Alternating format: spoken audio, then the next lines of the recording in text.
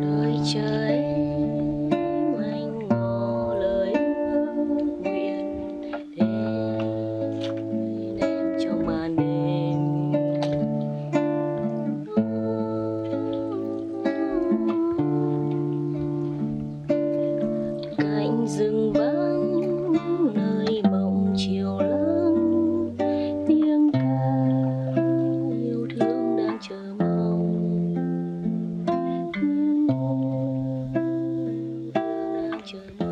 If you want to imagine Vietnam, George Orwell's novels are the best to read.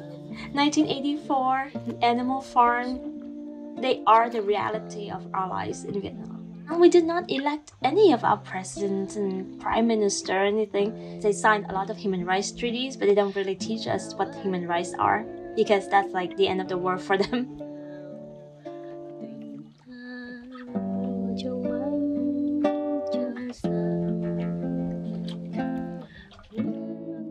Đến năm tôi 4 tuổi, tức là năm 82, 1982 thì ở Tây Ban Nha không? có cái World Cup gọi là España 1982 thế nhưng mỗi, mỗi lần mà muốn xem bóng đá ấy, là anh tôi cõng tôi đi sang nhà hàng xóm cách đó khoảng gọi là hàng xóm tức là một người quen ở đấy ở cách xa đấy khoảng độ 2 km. Và cả khu quay vào đấy xem tivi năm 1982 đó là nhà duy nhất có tivi màu. Thế nhưng mà sau khi đã trong cái tivi đẹp thế quần áo mọi người quần áo cầu thủ cỏ xanh rồi quần áo cầu cầu quần áo cầu thủ màu sắc rất là đẹp màu vàng màu xanh rồi thì và tôi thấy nó hoàn toàn khác với thế giới tôi đang sống. Nghèo. Thì tôi vì tình cờ tôi trở thành nhà báo. Thế nhưng đặc biệt quan tâm thì đến chính trị xã hội và kinh tế vĩ mô. À, càng ngày thì nó càng càng giải đáp được dần dần những câu hỏi của tôi những cái điều mong muốn của tôi từ từ nhỏ đó. nhưng cuối cùng thì tôi cũng nhận ra một điều là nghề báo cũng không đủ. Và tôi cho rằng là cái nghề chúng ta gọi là nghề hoạt động, dân chủ nhà hoạt động xã hội hay nhà hoạt động, chính trị hay nhà hoạt động xã hội sự nó là một nghề, nó không ở bối cảnh ở Việt Nam, một nước độc tài như Việt Nam, thì không chắc là nó thay đổi được cái gì. Bởi vì đảng cộng sản nắm quá chặt mọi thứ, toàn trị mà. Thế nhưng mà so với nghề báo thì nó nó có thể tiếp cận trực tiếp hơn. Có nghĩa là mình thấy cái sai và cái bất công thì mình đấu tranh thay đổi nó. Chứ mình không phải lòng vòng và chờ đợi câu trả lời từ ai khác nữa. Tôi nghĩ rằng là đó là lý do khiến tôi dần dần trở thành một nhà hoạt động.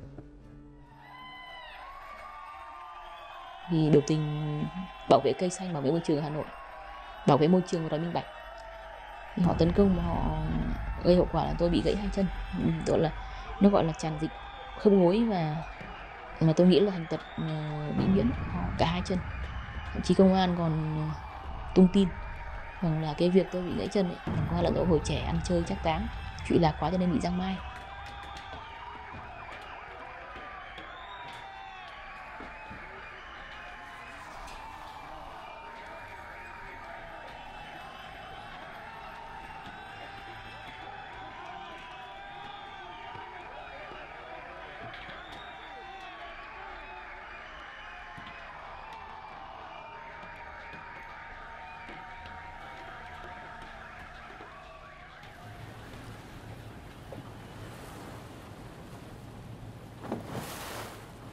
Then in 2016, she also joined the protest and writes about the Formosa environmental disaster in Vietnam.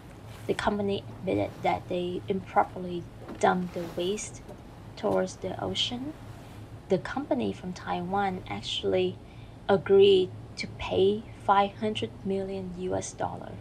From the evidence the government has against Duan Chang for her upcoming trial, a report on that incident is being used as evidence against her.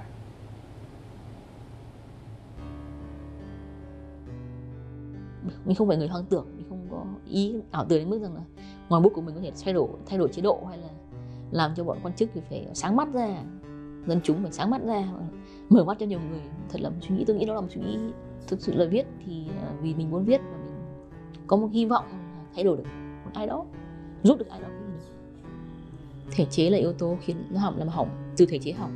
Nó dẫn đến văn hóa chính trị hỏng, đến văn hóa, dẫn đến dân tộc, tính cách dân tộc hỏng.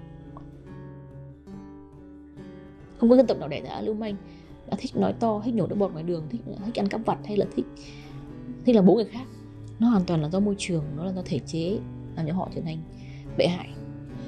Tôi muốn thay đổi cái đó, tôi muốn muốn thay đổi cái thể chế đó để cho để cho người Việt Nam được sống, được hưởng những điều mà lẽ ra họ được hưởng.